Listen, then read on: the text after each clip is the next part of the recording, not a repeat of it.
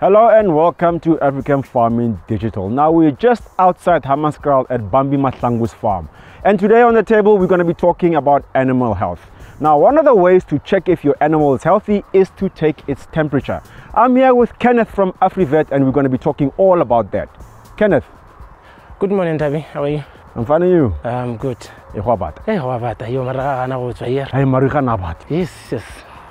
Keneth, now I want to know when is the right time to take temperature of your animal? The right time to take a temperature of your animal is when you suspect your animal is not it's it's ill, when it's not behaving normally like it usually do. Yeah, that's when you should take a temperature. So Keneth, I want to know what apparatus do you use to take um, your animal's temperature? Uh, we use an electronic thermometer, which we use to take the temperature rectally. Now, now you just said something rectally. What is the correct way to take a temperature? The correct way to take a temperature, you take a thermometer, you place it in the rectum of an animal, then you, put, you press it deep enough so that you can get the accurate, uh, accurate temperature.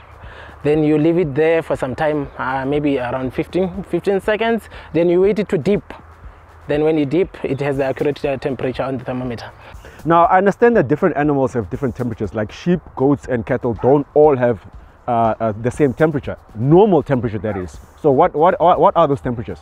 Yeah, with your sheep, your normal temperature is 39.9. With your goat, it's 39.7.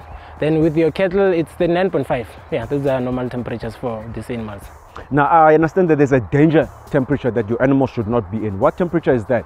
The danger temperature is 40 degrees and above. If you get 40 degrees and above, you should be worried. So Keneth, I want to know, let's say one of my animals, the temperature is above 40 and it's not acting right. So next step, we're going to saying. No, next step, if animal when temperature you just call your nearest animal technician to assist. Keneth, thank you so much for the information. You're welcome. Taking the temperature of your animal is to confirm whether it's sick or not. For more information, please visit AfriVet's website at www.afrivet.co.za or contact your nearest AfriVet agent. Thank you for watching African Farming and remember, we farm better together.